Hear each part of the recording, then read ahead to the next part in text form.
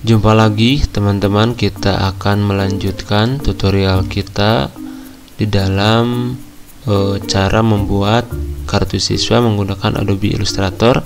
Tampilannya nanti seperti ini teman-teman. Bagi yang mau silahkan nanti bisa di download caranya ada di durasi ke 3 menit. Kita langsung saja pada tutorialnya. Oke teman-teman di sini silahkan untuk aplikasinya. Harus sudah terbuka ya seperti ini masih dalam kondisi blank. Kita bisa membuat mengukur atau membuat satuan ukuran baru di dalam Adbot atau membuat e, kampas baru ya. Kita coba saja membuat kampas baru digunakan file new ya seperti itu. Di sini saya menggunakan satuannya milimeter saja dengan lebar 85 mm dengan 55 mm seperti itu. Ini jadi e, tampilannya nanti landscape ya. Oke kalau sudah teman-teman bisa juga diganti namanya menjadi kartu siswa misalkan atau kartu pelajar juga boleh. Oke kita tekan oke saja dulu. Ya, seperti itu. Ini kampasnya sudah ada teman-teman. Ukurannya seperti yang kita setting sebelumnya. Oke sekarang kita eh, langsung saja di sini digambar saja menggunakan rectangle ya. Oke seperti itu. Selanjutnya teman-teman kita uh, bentuk dulu ya untuk bagian headernya. Caranya kita satukan dulu untuk satuannya yang tadi ya samakan dulu. Ini yaitu 85 mm dengan 55 mm oke ketika tinggal enter saja. Ini ukurannya sudah sama kita simpan di tengah teman-teman. Kalau sudah kita uh, yang ini kita duplikat ya. Caranya untuk diduplikat. Sebentar teman-teman. Kita reset dulu untuk tampilannya supaya lebih mudah ya. Oke. Ini kita masuk pada menu layer. Di menu layer di sini di bagian rectangle kita duplikat saja. Caranya bisa digunakan Ctrl C Ctrl F ya. Teman-teman saya ulangi Ctrl C Ctrl F. Atau kita bisa di drag ke dalam uh, new layer seperti ini. Ini jadi diduplikat ya. Oke seperti itu. Kita tarik saja ke bagian atas teman-teman seperti ini. Ini bisa dikira-kira tergantung dari data yang akan dimasukkan nanti ya. Oke silahkan diklik pada bagian bawah pojok kiri dan pojok kanan menggunakan direction selection tool. Oke diklik saja. Ini satu. Kita drag teman-teman seperti itu ya. Mendapatkan file silahkan klik halaman link download yang ada di deskripsi. Setelah itu nanti teman-teman akan dibawa kepada halaman blog. Cari tombol download biasanya paling bawah ketika diklik nanti akan langsung dibawa ke Google Drive. Silahkan di download dan selamat Anda bisa mendapatkan file desainnya secara gratis tentu dengan dibaca ketentuan dalam pemakaiannya. Kurangi sedikit ini juga sama. Klik satu kita drag. Oke okay, seperti itu. Kalau sudah teman-teman sekarang bagian yang ini kita duplikat lagi seperti yang tadi ya. Kita drag saja seperti itu kita pilih pada bagian bawah ya pada bagian bawahnya. Lalu kita kurangi. Oke jadi di di sini eh, pada bagian bawahnya itu eh, lebih dari eh, lebih eh, apa? Kurang ya kurang tumpul ya. Jadi ketumpulannya dikurangi. Jadi untuk sudutnya tidak terlalu lancip seperti itu. Setelah itu teman-teman silahkan kita diperlebar saja di drag seperti itu. Ini jadi uh, keluar ya nanti kita akan rapihkan. Oke kalau sudah biar sekalian sekarang kita buat lingkaran. Oke kita buat lingkaran. Jangan lupa ditekan shift ya seperti itu supaya lingkarannya menjadi sempurna. Oke ini tekan shift kita simpan saja di bawah seperti itu.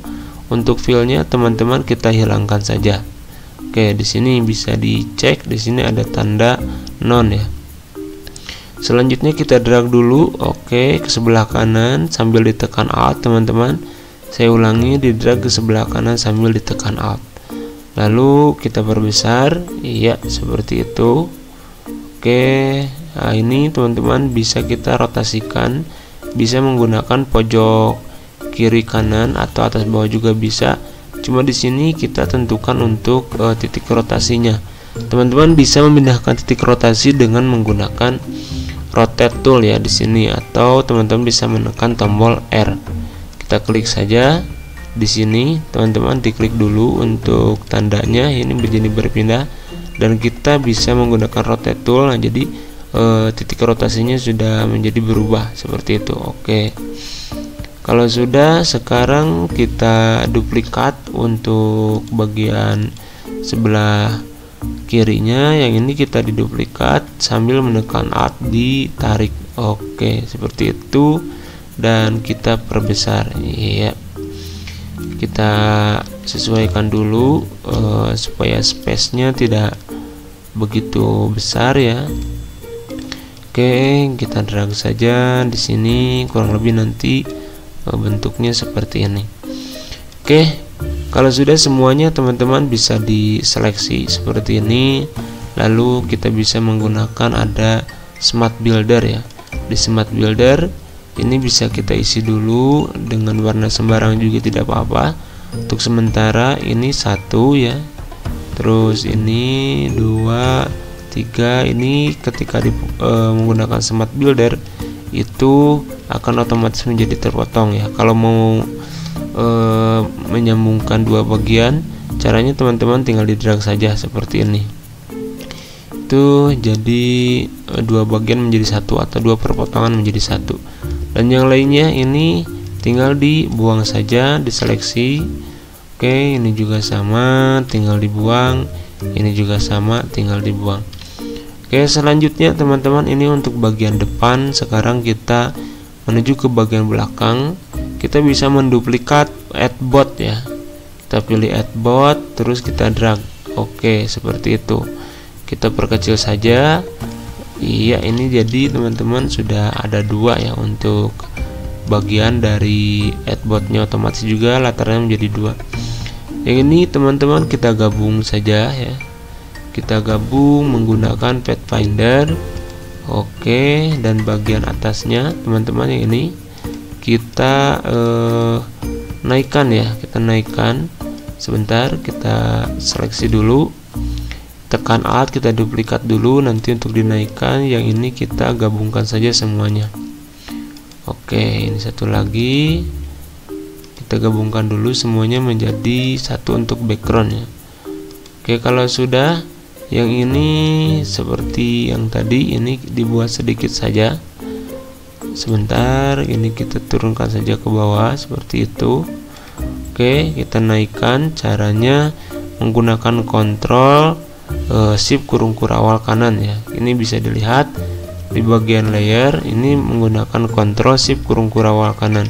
Otomatis ini uh, menjadi ada di paling atas seperti itu teman-teman.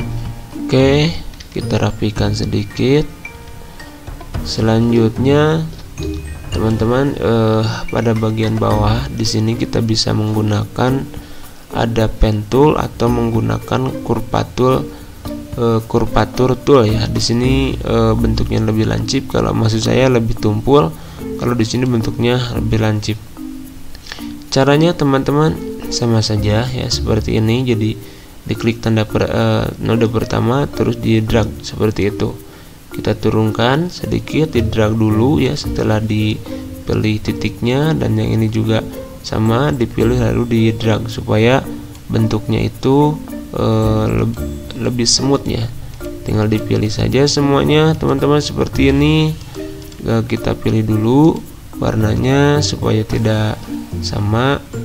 Kita pilih abu bertingkat dulu ya nanti kita bisa sesuaikan oke kita betulkan dulu ini untuk uh, lengkungannya. Teman-teman bisa diedit ulang menggunakan direct selection ya. Di sini direct selectionnya Oke ini terlalu harusnya agak bawah. Ini juga sama.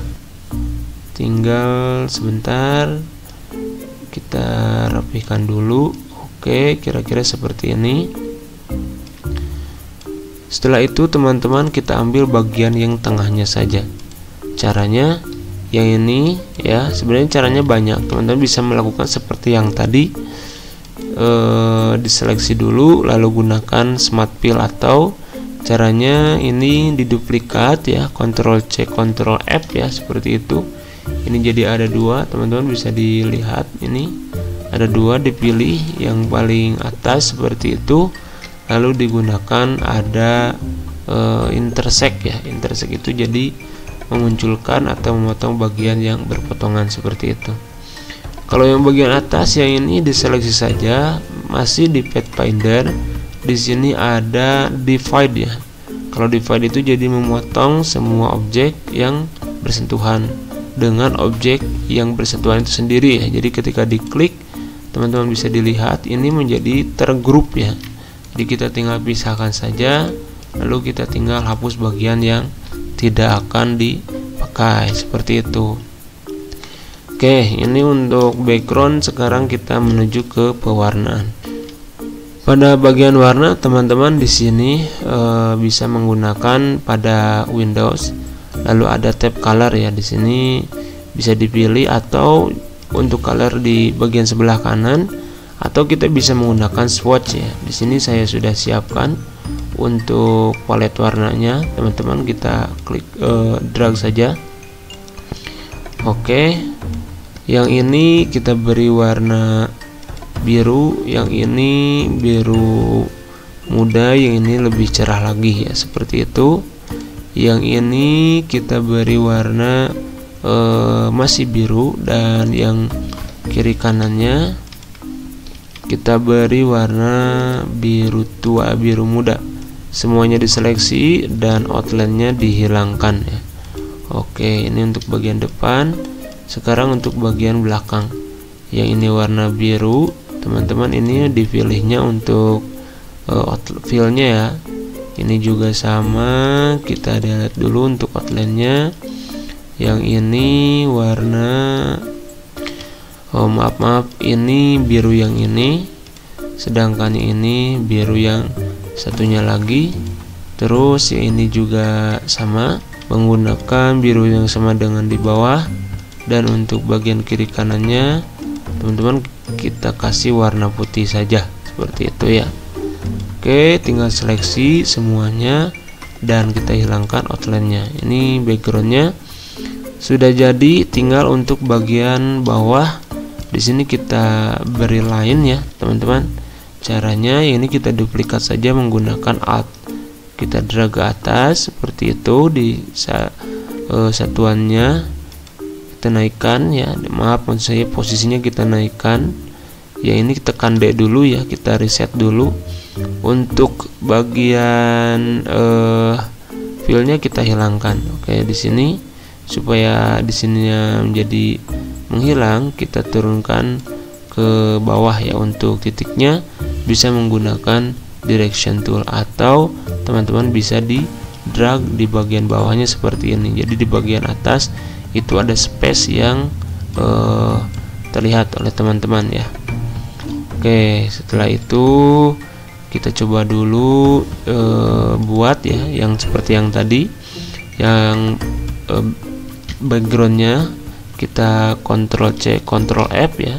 Setelah itu dipilih. Ingat teman-teman di sini kita uh, pilih background dan objek ya. Seperti itu. Kalau sudah sekarang gunakan uh, intersectnya. Di sini ada intersect dan dipilih warna putih. Oke. Hilangkan outline-nya dan kita turunkan ke bawah caranya teman-teman di sini turunkan ke bawah dengan menggunakan Ctrl Shift kurung kurawal kiri ya. Saya tekankan Ctrl Shift kurung kurawal kiri seperti itu. Oke selanjutnya tinggal kita masukkan deskripsinya. Teman-teman untuk deskripsi bisa menggunakan uh, text tool ya. Di sini mohon izin. Sebelumnya teman-teman jadi tinggal ditulis saja seperti itu nama alamat dan lain-lain. Mohon izin untuk tulisan saya tidak memperagakan ya karena pada tulisan ini tentu mudah ya mudah sekali. Teman-teman tinggal digunakan saja tinggal ditulis saja supaya video ini durasinya tidak terlalu lama. Dan pada bagian di bawah di sini kita bisa menambahkan shadow ya. Oke caranya teman-teman seleksi dulu semuanya lalu kita bisa pilih ada efek terus ada stylize drop shadow ya. Oke ini sudah ada kelihatan. Tinggal kita atur saja untuk opposite-nya. Misalkan kita hanya menggunakan 20% dan untuk blurnya kita menggunakan 0,5 misalkan. Dengan opposite 70 misalkan ya supaya lebih kelihatan seperti itu. Ini untuk e, blurnya dan settingannya bisa dilihat. Selanjutnya teman-teman pada bagian X dan Y ini adalah posisi ya. Kita klik dulu previewnya supaya bisa kelihatan perpindahannya seperti itu. Ini untuk uh, atasnya ya atas bawahnya seperti itu. Dan ini untuk blurnya kita tekan OK saja dulu kita masuk ke deskripsi untuk deskripsi seperti yang saya sampaikan tinggal menggunakan teks saja di sini mohon izin saya sudah dilakukan untuk copy paste saja ya teman-teman untuk tulisannya di sini saya hanya mencontohkan apa saja yang dimasukkan. Oke, di sini yang dimasukkan ada nama sekolah. Saya menggunakan uh, fontnya standar saja yaitu Arial ya. Nanti untuk teman-teman juga bisa disesuaikan kalau misalkan fontnya ingin lebih custom lagi ya seperti itu. Oke, ada nama sekolah, juga ada alamat e, berikut pemerintah ya di sini kebetulan saya mengajar di Kabupaten Tasikmalaya. Di sini ada NIS, ada nama, tempat tanggal lahir, juga ada jenis kelamin dan alamat. Tinggal di bagian sebelah kiri. Di sini kita masukkan untuk fotonya. Teman-teman ini bisa menggunakan dengan dimensi e, eh, 3 ke 4 ya. Ini lebarnya 30 sedangkan untuk tingginya yaitu 40 oke seperti itu jadi tinggal kita perkecil walaupun dimensinya walaupun kecil tapi dimensinya sama ya 3 ke 4 oke yang ini bagian atas ya. Kita naikkan dulu. Kalau misalkan ini terlalu lebar teman-teman ini bisa diturunkan ya. Caranya seperti yang tadi ya. Ya ini diseleksi ini tinggal diturunkan saja seperti itu.